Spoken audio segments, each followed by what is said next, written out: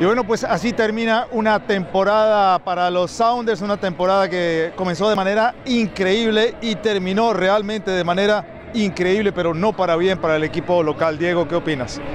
Pues un, final que nadie esperaba, ¿no? No solamente los fanáticos que vinieron aquí apoyando al equipo en todo momento, pero ya lo habíamos eh, estado comentando que los Sounders no pasaban por buen momento. Una racha que llevaban seis partidos sin ganar.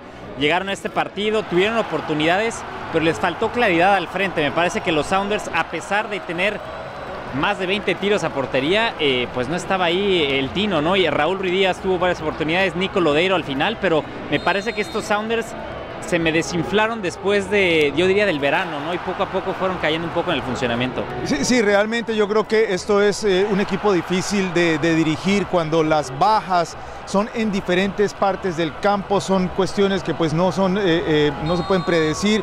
Es difícil organizar un equipo. Recordemos que en algún momento el equipo tuvo que jugar con varios muchachos que adolescentes partido que a propósito se ganó contra Austin gracias a Raúl Ruiz Díaz. Pero esta fue una temporada que comenzó rompiendo récords de Invictos 13, récord de la MLS, un equipo no, no perdía un partido, pero terminamos sin ganar y definitivamente el día de hoy, pues también fue un reflejo de que el fútbol no es del que juegue mejor, no es del que haga más tiros al arco, es el de que meta más goles.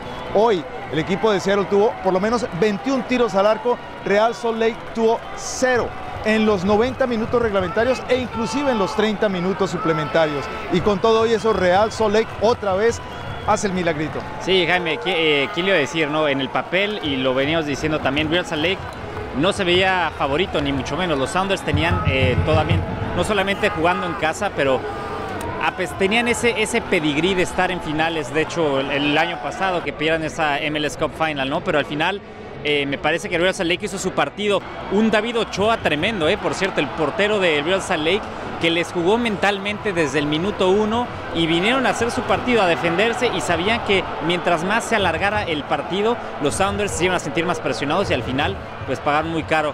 Lo que sí es que los Sounders, como dices, arrancaron muy bien, eh, pero como nos dice, nos enseña mucho lo, lo, que son los playoffs al final, ¿no? Sí. Eh, no tiene mucho que ver en la temporada regular porque este es un torneo totalmente diferente a un partido y mira, en casa se volvió a demostrar que los Sounders esta temporada, la verdad es que no fueron favoritos. Sí, bueno, esperamos ahora toca pensar en la siguiente temporada, qué se viene, qué jugadores van a estar de regreso, qué jugadores se van a ir. Yo estoy seguro que en los próximos días vamos a escuchar noticias acerca de jugadores que tal vez a pesar de que son muy queridos en el equipo, pues puede que no regresen porque en este momento el equipo necesita eh, reajustarse, necesita volver a ser un equipo sólido como lo fue, lo ha sido en las últimas temporadas, este equipo que ha llegado a dos finales de la MLS, que ganó una de esas dos finales y esta vez se fue en seco, se fue demasiado temprano del torneo.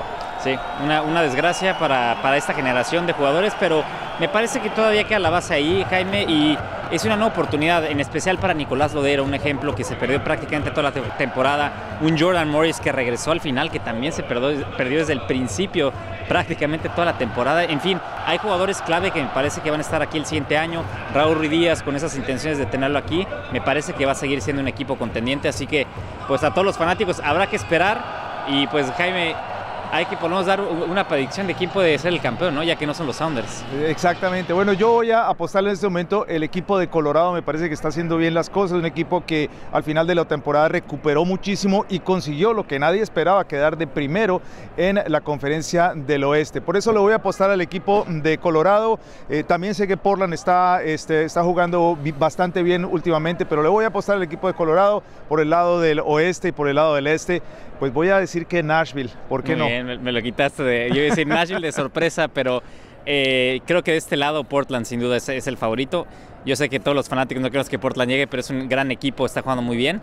Pero me parece que podemos tener un nuevo campeón que podría ser un equipo nuevo como Nashville. ¿Por qué no? Sería y, bueno verlo, ¿no? ¿Y por qué no? O podría ser también, hablando de un equipo nuevo, el Holanda de la MLS el equipo del New England Revolution, ah, bueno, que... que... ha perdido ya dos finales de la MLS, podría ser esta la tercera. Ha tenido una temporada de ensueño, rompiendo récord de puntos, ganando muchos partidos. Este, así de que, ¿por qué no? Cualquier cosa puede pasar. Hoy vimos cualquier cosa puede pasar. Claro que sí, Jaime. Y solamente terminar para agradecer a, a la gente, a todos los fanáticos que son, nos han estado siguiendo toda la temporada, no solamente en Southwest FC en acción, en fútbol en vivo, en redes sociales. Es un placer para nosotros siempre traer lo mejor, la, la información todo lo que tienes que saber de los Sounders. agradecimiento especial a Gil Ojeda que anda muriéndose de frío atrás de cámaras, llorando un poquito por la derrota sin duda, pero igual a toda la gente que hace esto posible, ¿no? Diego, Jaime. Placer trabajar contigo. Otra temporada con Diego Rioja y por supuesto, como ya lo dijo Diego, eh, con ustedes. Regresamos la próxima temporada y vamos a volver en Candela otra vez.